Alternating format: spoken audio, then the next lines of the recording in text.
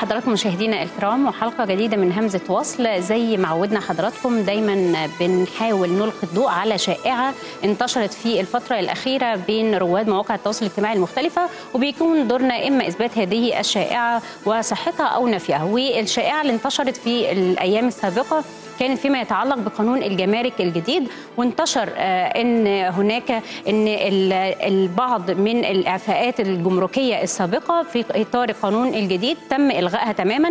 وده طبعا اللي وصل لمركز المعلومات التابع لمجلس الوزراء واللي بدوره اتصل وتواصل مع وزارة المالية المعنية بإثبات أو نفي هذه الشائعة واللي نفى تماما هذه الشائعة عن فكرة أو إلغاء الإعفاءات الجمركية السابقة في ظل قانون الإعفاءات الجمركية الجديدة.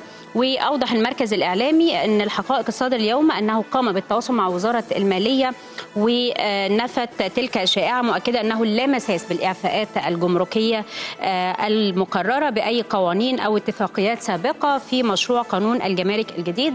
وإن مشروع القانون الجديد يستهدف تبسيط الإجراءات الجمركية.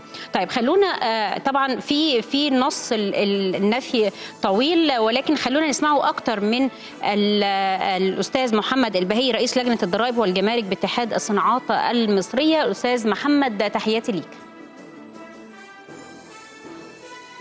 أستاذ محمد أيوه فندم يعني آه هذه الشائعة فيما يتعلق بقانون الجمارك الجديد واللي انتشرت إن الإعفاءات السابقة تم إلغائها تماما. تعليق حضرتك على هذه الشائعة. يعني هو طبعا القانون لم يصدر بعد وأنا ما أعرفش الشائعات بتبنى على إيه. يعني أنا ما أعرفش حتى اللي بيطلق شائعة حتى ما بيشيرش إلى مرجع معين أو إلى نص موجود في أي مكان. النهارده القانون بيناقش في مجلس النواب السيد وزير المالية عند إعداد القانون كان بيهدف لتبسيط الإجراءات وسرعة الإفراج عن الرسائل الواردة. وأعتقد إن إحنا ناقشنا القانون مع وزارة المالية والسادة مستشار الوزير. والقانون تقريبا بيسهل ولا طبعا يضع أي نوع من العقبات أو الصعوبات ولم يتعرض إطلاقا لموضوع الإعفاءات يعني ما فيش نص حتى ولا يعني حتى من قريب أو بعيد لهذا المعنى اللي جه في هذه الشائعة. طيب الهدف هنا في هذا القانون يا فندم إن طبعا طبقا لرؤية القيادة السياسية يعني التحول الرقمي لكل المنظومة الضريبية أو لكل الإدارات في مصر. فهو بيعمل النهارده على الربط الإلكتروني. وزي ما قلت لحضرتك إنه حتى في بعض الرسائل بيتم الفحص اللي هو قبل الشحن في بلد المنشأ بحيث إنه بيفرج عن هذه البضائع لتحسين طبعا مستوى مصر التنافسي في العالم من خلال سرعه الافراج عن الرسائل. تمام. طيب دلوقتي من ضمن القانون الجديد عشان دي نقطة تخص ناس كتيرة جدا بيقولوا إن السماح بتقسيط الضريبة الجمركية المستحقة على الآلات والمعدات والأجهزة وخطوط الإنتاج ومستلزماتها، ممكن حضرتك توضح لنا النقطة دي؟ تمام ده نص مستحدث وما كانش موجود واعتقد إن معالي الوزير هو طبعا منحاز للصناعة واعتقد إن الدول كلها حتى الدول اللي بتصنف إنها دول عظمى بيبقى ترتيبها دائما متقدم نتيجة تقدمها الصناعي. فده دي رؤية الدولة نفسها واعتقد إن ده نص يعني يشجع كثيرا لأن يعني بيعمل على توفير السيولة لدى المصانع عشان تستطيع إنها تستكمل مشاريعها إذا ما تم تخطيط الضريبة على فترات لاحقة على الإفراج عن الآلات. طب أستاذ محمد هذا القانون من المقرر إن هو يتم إقراره إمتى أو التصديق عليه إمتى؟ الأسبوع الماضي أظن تم مناقشته في مجلس النواب وإحنا أرسلنا مندوب من لجنة الجمارك وأعتقد إن إحنا يعني أدينا آرائنا المتعلقة بالقانون في المناقشة وزي ما قلت لحضرتك إحنا ما عندناش تحفظات لأن إحنا متوافقين تقريبا مع الوزارة في كل شيء أعتقد إن القانون هيمر سريعا إن شاء الله طيب. بعد عرضه على الجلسة العامة. طب سريعا جدا يعني أي قانون لما بيتم تعديله أو تحديثه بيكون الهدف منه تفادي عوار سابق واستحداث تسهيلات زي ما حضرتك ذكرت. إيه الأهم العوار أو العوار اللي هيتم تجنبه في القانون الجديد؟ كانت الدولة أو بيرجع على الدولة بالضرر بص حضرتك هو طبعا يعني يعني الوزير محمد معيط هو طبعا الوزير الوحيد تقريبا اللي عنده خبرة وزير سابق. يعني هو عارف كل المشاكل الموجودة في كل القوانين المتعلقة بالضرائب والرسوم وأعتقد إن هو فتح كل الملفات في وقت واحد. يعني النهارده في قانون ضرائب جديد وفي تعديلات في قانون القيمة المضافة وفي أيضا قانون الجمارك الجديد والتعريفه أيضا تم إرسالها من قبل لمجلس النواب. زي ما حضرتك ذكرتي هو الهدف من الموضوع ازالة اللبس أو الجمل الفضفاضه اللي بتقبل يعني انها تقول. هنا النهارده نص القانون الجديد نص واضح وملزم وليس فيه لبس في عند التطبيق. نعم. واتصور ان ده كان الهدف من تنقية القوانين من فكرة الجواز أو الجوازية يعني بعد ما يحطوا نص نص في القوانين بيضعوا ان يجوز مثلا للموظف ان يفعل كذا وكذا. نعم اللي, اللي, اللي بعد كده بنطلق عليها ثغرات في القانون. نعم. بالظبط. نعم. في كل القوانين السابقة. وأنا بتصور كمان إن أيضا في في القانون نص مهم. أنت عارفة مصر مترامية الأطراف وفي طبعا يعني سواحل كثيرة جدا فبيتم التهريب بشكل ممنهج. فالقانون هنا أعطى طبعا السلطة للجمارك إن هي تراقب حتى خارج الدائرة الجمركية وده يعتبر نص مستحدث في القانون. نعم. أه بشكرك. شكرا جزيلا الاستاذ محمد البهي رئيس لجنة الضرائب والجمارك باتحاد الصناعات المصرية على هذا التوضيح. اذا زي ما ذكرنا لحضراتكم وجاء على لسان الاستاذ محمد بهي إن القانون أصلا لسه ما صدرش واستعجب إن بالفعل تم نشر شائعات عليه. ويمكن ده يعكس إن الموضوع متعلق بفكرة الوعي إن شائعة تنتشر وهي أصلا لسه القانون لم يتم التصديق عليه أو الموافقة عليه بشكل نهائي. فده يعني إن إن إحنا كشعب بننقل الشائعة بيننا وبين بعض حتى من غير ما نكون متأكدين إن أصلا القانون ده موجود. طيب دي كانت الشائعة اللي معانا النهارده مع حضراتكم اللي دايما بنحب إن إما نثبتها أو ننفيها طبعا عشان يكون ده دورنا. ومعانا طبعا الموضوع الأساسي النهارده ويمكن إحنا كتير جدا بنسمع كلمة مصر دولة شابة مصر دولة تعداد الشباب فيها أكبر من أو أقل من سن الأربعين. يعني بنتكلم في ثلثي سكان مصر أقل من سن الأربعين. ودي ميزة اقتصادية واستراتيجيه قوية جدا. ان ده بيعطي للدولة قوة كبيرة جدا. وده اللي لازم الدولة بتحطه قدام عينيها وبتهتم بيه بشكل كبير إن هذه الطاقات وهذه القدرات قدرات الشباب يكون عندها طاقة وإبداع وابتكارات لازم تحتويها بأي شكل. وده يمكن السياسة اللي اتبعها الرئيس عبد الفتاح السيسي منذ توليه الحكم في فكره تبني الشباب وأفكار الشباب واحتوائهم والاستماع ليهم. ودي كانت نقطة مهمة جدا ربما كنا مفتقدينها في سنوات طويلة واللي شفناها مترجمة بشكل كبير في مؤتمرات الشباب اللي بتعقد بشكل دوري من فترة إلى أخرى أيضا من خلال تبني الشباب اللي لديه ابتكارات واختراعات مختلفة أيضا بيتم احتوائهم توفير فرص عمل ليهم لسحب هذه الطاقات واستغلالها أمثل للاستغلال الأمثل. يعني اذا هي مساعي من الدولة لاحتضان الشباب بشكل عام. وطبعا بنشوف البرنامج تأهيل الشباب وشفنا بالفعل أخرج عدد كبير جدا من الشباب اللي تولى مناصب قيادية كبيرة نواب ومستشارين للمحافظين والوزراء وما إلى ذلك اذا هي خطة وضعها الدولة لحسن استغلال قدرات الشباب وده اللي هنتكلم فيه مع حضراتكم النهارده في موضوعنا من همزة وصلة من خلال الإجابة على سؤال حلقة اليوم وهي كيف ترى جهود الدولة في النهوض بقدرات وطاقات الشباب؟ هننتظر بالطبع مشاركات حضراتكم معنا على مواقع التواصل الاجتماعي المختلفة للبرنامج على صفحتنا على الفيسبوك على همزة وصل إيجي. طبعا قبل ما نبدأ نقاشنا مع الخبراء والمختصين في موضوع حلقة اليوم لازم نستعرض آراء حضراتكم ونسمع آراء حضراتكم اللي دايما بتجيلنا على صفحة البرنامج واللي هنروح فيها للزميلة حنان عاطف. مساء الخير حنان. مساء الخير ميرفت ومساء الخير على حضراتكم مشاهدينا ومتابعينا في كل مكان عبر كل مواقع التواصل الاجتماعي المختلفة وتحديدا موقع فيسبوك للتواصل الاجتماعي عبر همزة وصل EG هو العنوان الدائم والرسمي للتواصل معنا في سؤال حلقتنا النهارده. الحقيقة مشاهدينا جالنا عدد كبير من تعليقاتكم وكمان أفكاركم ووجهات نظركم. خلينا على طول نستعرض مجموعة من المشاركات. على طول مع عنصر نسائي أستاذة دينا الشرقاوي بتقول لنا في رسالتها الدولة قامت بمجهودات كبيرة في إطار النهوض بالشباب وتقليدهم أعلى المناصب في الدولة. طيب نروح لرأي تاني من أستاذ أيمن رمضان الأنصاري بيقول فيه جهود الدولة في النهوض بقدرات وطاقات الشباب بأنه على الدولة أنها تسعى أكتر لاحتواء الشباب للنهوض بقدراتهم ومش بس كده كمان الاستفادة من الطاقة المكبوتة لأنه النهوض بالوطن لا يأتي إلا باحتواء الشباب لأنهم مستقبل الوطن اللي جاي جيل من بعد جيل وده هيكون من خلال النظر للمعوقات اللي بتأخرهم على النهوض والسعي لحلها. هي دي الريادة. تحية لصانعي القرار لأنه مثل تلك الخطوات هتعطي انتماء وكمان هتعطي انطباع للشباب بأنهم في الحسبان أو في فكر صانعي القرار.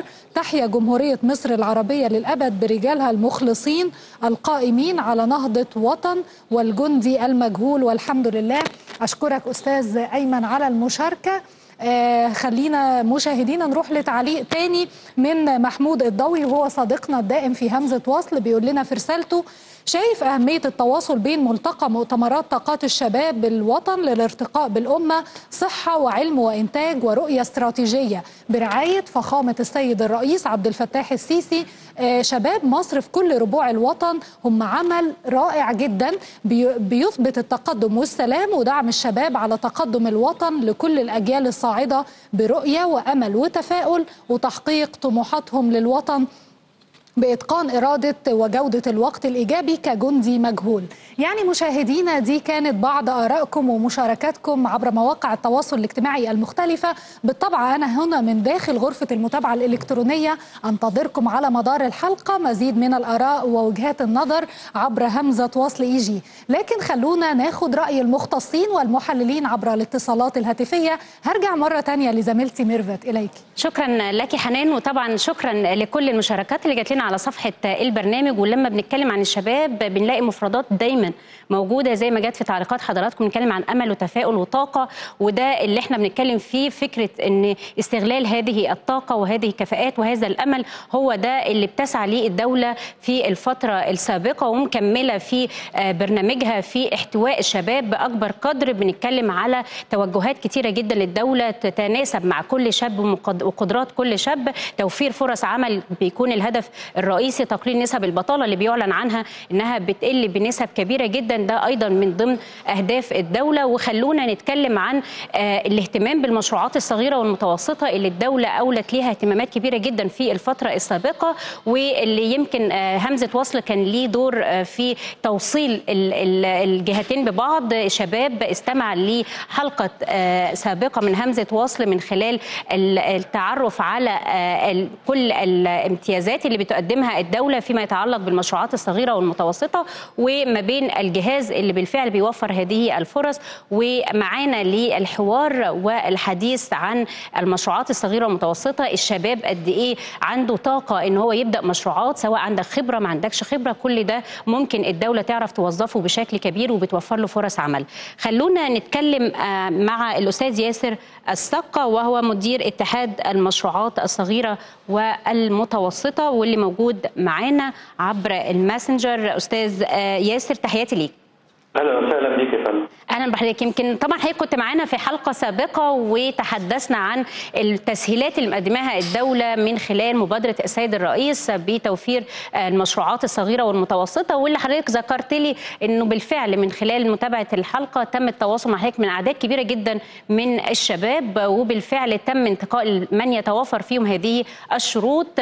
خلونا خلينا ندخل مع حضرتك في فكرة التسهيلات اللي ممكن الدولة بتقدمها لأي شاب مهما كانت إمكانياته لاحتواء كل طاقة تكون موجودة عند أي شاب.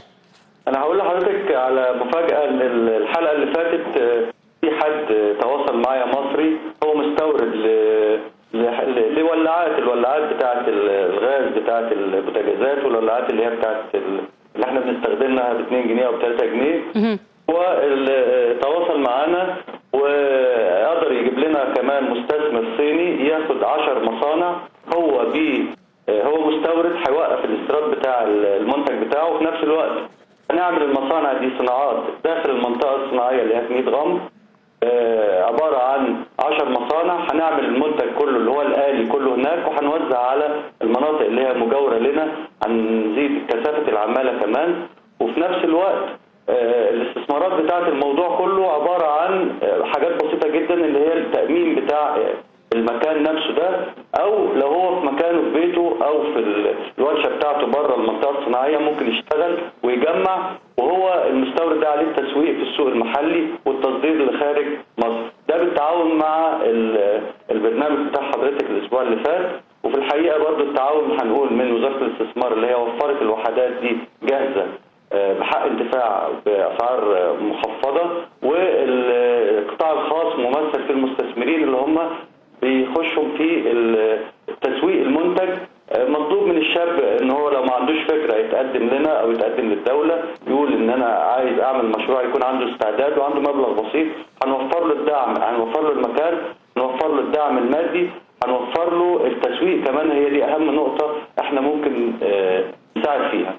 طيب دلوقتي يعني حضرتك تحدثت إن بعد آه، الحلقة تم التواصل بشكل كبير. آه، ليه لم يكن هناك أي وسائل تواصل أخرى مع الشباب عشان تجذبوا أكبر عدد من الشباب؟ ربما في شباب كتير لسه ما يعرفش عن هذا البرنامج وهذه المبادرة وهذه التسهيلات اللي بتقدمها الدولة اللي زي ما حضرتك ذكرت يمكن في كل القطاعات وفي كل المجالات دون اشتراطات. لا في الحقيقة إحنا عندنا طبعا أنت تعرف طبعا محتاجاها المصانع محتاجين مصانع عدد كبير جدا محتاجين بنية تحتية. الدولة بقى لها ثلاث سنين أو أربع سنين شغالة ليل نهار. القوات المسلحه عن طريق الشركات الخاصة عن طريق الشركات الحكومية عملت بنية تحتية. حاليا إحنا بدأنا نطلع من تحت الأرض. يعني إحنا السنة دي 2020 هيخش من عندنا من وزارة الاستثمار 600 مصنع ومن الاتحاد 2021 1 1 21 هيخش 1000 مصنع. التجهيز لهم بياخد وقت شوية.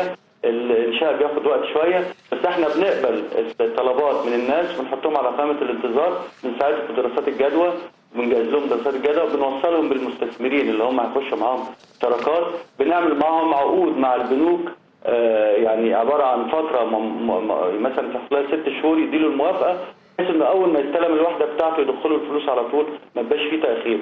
كل المشاكل اللي إحنا كنا بنعاني منها الفترة اللي فاتت الحمد لله 80 أو 90% منها اتحل. وإن شاء الله هنشوف طفرة كبيرة جدا السنة من البدايه من السنة الجاية.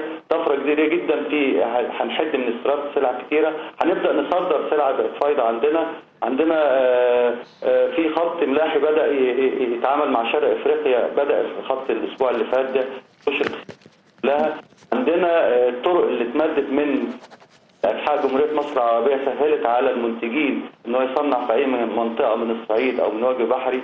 يودي للمواني بتاعتنا. عندنا التسهيلات اللي قدمتها البنوك بالمبادرة 5% عندنا المباني اللي إحنا بدأنا نديها للناس. حسينا بالناس كتمليك هيبقى ضغط عليها ادينا لها حق انتفاع. يدفع مقدم بسيط جدا بيدفع تأمين بسيط جدا. وحتى التأمين كمان ممكن يعملوا وديعة في البنك ويجيب لي خطاب ضمان بيه. يعني كمان يستفيد بال الفلوس اللي هي بيحطها دي مش هتروح عليه في الأرض. في نفس الوقت نزلنا المساهمة الذاتية للمشاريع اللي لسه بادئة كانت البنوك بترفض ضخ تمويلات للمشروعات الجديدة إلا في حدود معينة. وصلناها ل 25% من المستثمر و75% من البنك. ده نسبة كويسة جدا طب وده ياخدنا لنقطة مهمة جدا فكرة طبيعة المشروع. هل هذه المبادرات بتمول طبيعة مشروعات معينة ما بتقلش عنها أو ما بتزيدش عنها؟ يعني بتدخل تحتها المشروعات الصغيرة ومتناهية الصغر وأيضا المشروعات الكبيرة. كمان المشروعات المتعثرة لو في حد مصانع متعثرة أو مشروعات متعثرة؟ بص هي حضرتك بتدعم متناهية الصغر والصغيرة والمتوسطة والقطاع الغير رسمي والمصانع اللي هي المتعثرة. أي حد من دول إحنا مستعدين. لو هو قطاع غير رسمي أنا عندي ال 100 مصنع بتوع 100 غمر منهم حوالي 40 مصنع قطاع غير رسمي. ده ده يديني حاجة كمان. ده بيعتبر بالنسبة لي خبرة. ده أنا ممكن أديله بنسبة مساهمة ذاتية 10% يعني هو لو عنده خبرة في المجال ده وهيطلع من القطاع الغير رسمي. القطاع الرسمي هو مطلوب منه إنه الماكينات بتاعته دي بنقيمها. لو طلعت هي ب 10% بنمول له ب 90% بفايدة 5% ولمدة خمس سنين وتوصل ل 10 سنين كمان في بعض الصناعات. بديله فترة سماح من ست شهور وبعض المشروعات توصل لسنة وشوية. يعني حضرتك حتى الإيجار بتاع المصانع اللي إحنا بنديها للناس ما بناخدش منه إيجار إلا بعد سنة من استلامه للوحدة. يعني أنا باخد منه التأمين ما باخدش منه أي إيجار إلا بعد سنة. يعني دي دي فترة كويسة جدا إن هو البنك ما ياخدش منه كدفع أو كحاجة من القرض إلا بعد ست شهور لسنة. وأنا كمالك للوحدة أو كوزارة مالكة للوحدة ما باخدش منه إيجار إلا آخر السنة. يعني أنا بديله فرصة إن هو يركب مكنه وإن هو يعمل التجارب بتاعته. وفي نفس الوقت بربطه بشركات التسويق بربطه بشركات الجودة بربطه بعمل له منطقة جمركية خاصة جوه جوه المنطقة عشان يعني إذا ليس على الشاب اللي بيسمعنا دلوقتي غير ان هو يتوجه لحضرتك وحضرتك كمان بتر- بترشح له المشروعات اللي ممكن يقدمها بتقف معاه من أول إنشاء المصنع وتأهيله وتدريبه وحتى عملية التسويق كمان للمنتج اللي هيختاره كل ده بيكون من خلالكم وفي عندنا كمان نعم. حاجة عندنا وزارة الاستثمار عندها شركة أنشأتها مخصوص خصيصا لرواد نعم. الاعمال ممكن تخش بدل في ناس بعض الناس بتقول لا أنا ما اخدش من البنك قرض يمكن في خطورة شوية ريسك.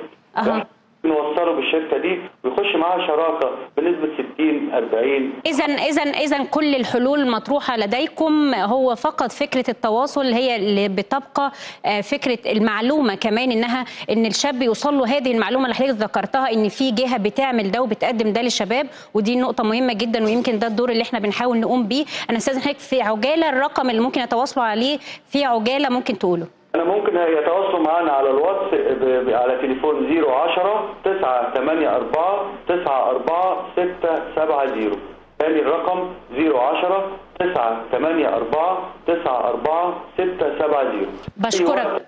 في ساعة طول أيام الأسبوع يبعتوا لنا الرسائل بتاعتهم. لو ما عندوش فكرة مشروع هنقدم له الأفكار. بشكرك. شكرا جزيلا. أستاذ ياسر الساقه مدير اتحاد المشروعات الصغيرة والمتوسطة. شكرا جزيلا لحضرتك معانا. ويعني آه، إحنا حبينا أستاذ ياسر يكون معانا مرة تانية للتأكيد على معلومات سابقة. استفاد منها شباب كتير جدا. وده دايما بيكون دورنا. توصيل المعلومة ممكن الدولة بتكون بتقدم خدمات كتيرة جدا وفرص كتيرة جدا. ولكن لم تصل للشباب زي ما إحنا عارفين إن في جهات كتيرة جدا بتحاول منع الأخبار الإيجابية اللي ممكن تكون موجودة في الدولة بشكل كبير فده إن شاء الله يكون دورنا. وبالطبع هنتابع مع حضراتكم دايما كل المبادرات اللي بتقوم بيها الدولة. خلونا نكمل نقاشنا مع آه، حضراتكم ومعايا عبر الهاتف الاستاذ آه، آه، إبراهيم ناجي الشهابي عضو تنسيق شباب الأحزاب والسياسيين. أستاذ إبراهيم تحياتي ليك. أهلا بحضرتك واهلا بكل متابعي قناتكم المتميزة دوما. أشكرك. يعني آه، طبعا آه، كنا كلنا بنشوف آه، مؤتمرات الشباب وهذه الفكرة اللي استطاعت أنها تكون جسر وتواصل وهمزة وصل ما بين الشباب وما بين القيادة السياسية وما بين الوزراء وما بين الدولة من جهة والشباب من جهة أخرى. آه، كيف يمكن تطوير هذه الفكرة لاستيعاب أكبر عدد من الشباب وإزاي استطاعت أنها تؤثر بالفعل على أرض الواقع في آه، الشباب بشكل كبير. يعني خليني أقول لحضرتك في البداية طبعا إنه من بعد 2011 ترسخت قناعة لدى القيادة السياسية عموما أو لدى الدولة في هذا التوقيت إنه لابد من حالة حوار مجتمعي واسع مع الشباب. خاصة آه، بعد ما اتجه الشعب المصري لتصحيح مسار المجتمع من حالة الفوضى آه، إلى حالة آه، البناء الوطني. آه، المتكامل وأعتقد إنه القيادة السياسية بشكل حاسم أولت هذا الحوار أهمية قصوى ويمكن كان من أهم أهم ملامح هذا الحوار إنه ما كانش حوار مع نخب كان حوار مع شباب وكسر مركزية العاصمة وانتقل بها ليشمل كافة محافظات أو كافة النطاقات الإقليمية. آه، في مصر. حالة الحوار دي كان هدفها الرئيسي وبشكل واضح هو تأهيل جيل جديد من القيادات الشابة في مصر تكون لديها القدرة على تحمل مسؤوليات هذا الوطن على المدى البعيد. الدول لما بتنطلق في مشاريع النمو بعيده المدى بيبقى جزء من محددات الاستقرار ليها إنها يكون عندها صف تاني وثالث هذا الصف الثاني والثالث والرابع كمان يكون لديه القدرة على آه، تحمل المسؤولية في أي وقت مهم. مواصلة تنفيذ الخطة واعتقد انه كانت مؤتمرات الشباب هي البداية بداية ل آه، فتح المساحات واسعة أمام بقى الشباب وأمام المجتمع المصري ككل. يمكن مؤتمرات الشباب أنتجت حالة مهمة جدا. هي إنه فتحت الباب واسعا جدا أمام أكبر عملية إفصاح بالمعلومات. لأنه آه، مصريين يمكن نتيجة سنوات طويله قوي من عدم ظهور المعلومة وعدم توضيح حقيقة المشكلات. كانوا في حالة كده من حالات ال- الوعي الزائف يعني. شايفين مصر ومشاكلها بطريقة ربما تكون غير حقيقية. بعضه كان بيضخمها بعض المشاكل كان بيتم تضخيمها وبعضها الآخر كان بيتم يعني إشعار المواطنين أنها غير موجودة. يمكن كان من أهم ما انتجته مؤتمرات الشباب أنها عرضت الحقائق كلها. قالت مشكلتنا فين؟ وطرحت الحلول ليها وعرفت أو نقلت للمواطن المصري فكرة هي الدول بتبنى إزاي. أنا أنا لما أجي أحل مشكلة ما بحلهاش بشعار. ما بقولش حل نظري. لا ده أنا عشان أقول حل بحط برصد ميزانية وبجيب لها الموارد وبتاخد وقت معين في الاختبار والتقييم وصولا لمرحلة التنفيذ النهائي. أو الانتهاء من حل هذه. والأهم حاجة يعني لاحظناها في مؤتمر الشباب أو مؤتمرات الشباب فكرة التوصيات اللي بيخرج بيها المؤتمر وتفعيل هذه التوصيات ومتابعة تنفيذ هذه التوصيات واللي إحنا كنا بنرصده بشكل أساسي وبنشوفه بشكل كبير واللي بيصب في الآخر للشباب. حضرتك شايف آه، آه، إزاي ممكن آه، أوسع من دايرة ال- الاستفادة من الشباب؟ يعني الشباب اللي بيحضر طبعا بيستفيد بدرجة كبيرة ولكن كمان المتلقي المتفرج على هذه المؤتمرات إزاي انقل له الثقافة اللي استمدها الشباب اللي بيكون موجود داخل هذه المؤتمرات؟ جزء من ده الصراحة كان من منتجات مؤتمر الشباب. لأنه الأكاديمية الوطنية لتأهيل التدريب للتأهيل وتدريب الشباب كان أحد مخرجات مؤتمر آه، المؤتمرات الوطنية للشباب كان. احد التوصيات بالمناسبة ودي. أعتقد إطار مؤسسي يجب التوسع فيه ونقل مستوياته بشكل كبير جدا لأن تستوعب جزء كبير من الشباب العامل في الجهاز الإداري للدولة ممكن أيضا ان يتضمن مجموعات من الشباب العاملين في المجال العام في الجامعات الأهلية وأيضا في العمل السياسي وإحنا كنا طالبنا. بمدرسة للكادر آه، السياسي. أيضا من المهم جدا آه، إن يكون في توسيع آه، لحجم المشاركة وأعتقد إنه لابد أن يكون هناك نقل وبث مباشر لجلسات المؤتمر على وتوصياته على السوشيال ميديا. وده آه، حاصل وكنا. وكل كان بيبقى حديث الساعة في وق- وقت انعقاده وزي ما قلت لحضرتك أهم حاجة التوصيات والتنوع زي ما حضرتك ذكرت فكرة التنوع وتوسيع قاعدة المستفيدين من هذه المؤتمرات. آه، آه، ده طبعا شيء ملموس بشكل كبير جدا. بشكرك شكرا جزيلا أستاذ إبراهيم ناجي الشهابي عضو تنسيقية شباب الأحزاب والسياسيين. شكرا جزيلا لحضرتك لوجودك معانا. وخلونا قبل ما نكمل باقي حلقتنا مع حضراتكم نروح نشوف آراء حضراتكم في الشارع المصري ونرجع مع حضراتكم نكمل.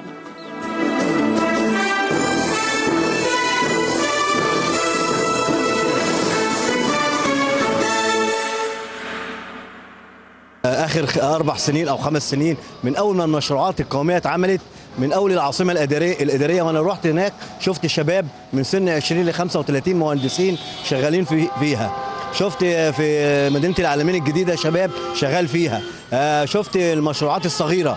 آه، كلها شباب. آه، شغلت مش- كذا مليون شاب. وقضت على البطالة وشجعت الاقتصاد. وشايف كمان مؤتمرات الشباب حاجة جميلة جدا نافعة نا- نافذة مفتوحة إن الشباب بيقول رأيه. فأنا شايف إن مجهود الدولة ما بيتأخرش خالص عن الشباب. الدولة عليها دور والشباب نفسهم عليهم دور. لكن آه، لازم الاثنين يبقوا موجودين مع بعض في نفس الوقت. بمعنى إن إن إن الدولة عليها إن هي توجه الشباب لل- للدور اللي ممكن يعملوه ومن خلاله ال- الشباب يقدر يقوم بحاجة زي كده. فالدولة بتتيح المجال طبعا من حيث الوظائف ومن حيث آه، توفير فرص عمل واستغلال طاقتهم فيما يفيد التخصصات والمجالات اللي الدولة محتاجاها. طبعا الشباب هم المستقبل وهم اللي بيعملوا نهضة للبلد.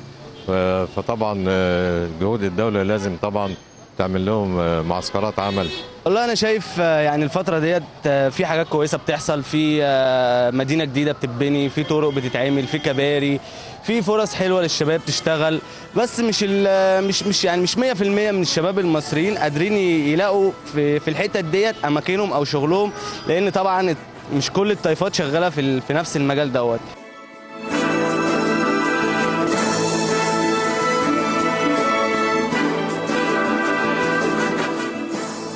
طيب يمكن الآراء اللي جت آراء حضراتكم جت في هذا التقرير آه، أشارت لنقاط مهمة جدا آه، نقطة مهمة جدا إن حد قال من الشباب إن الشباب نفسهم عليهم دور ودي نقطة مهمة جدا هنتكلم فيها مع حضراتكم.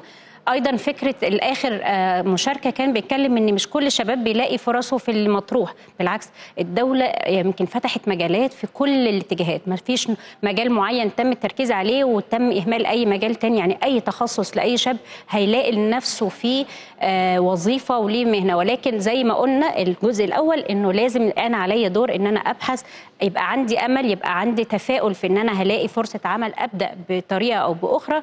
والدولة بتساعد زي ما شفنا كده في المشروعات مش مشترطين أي حاجة. حضرتك بتروح بتقول أنا عايزة أعمل مشروع أنا عايزة آه، أبدأ آه، مصنع وأنشئ مصنع ايا كان الصناعة اللي هتعملها.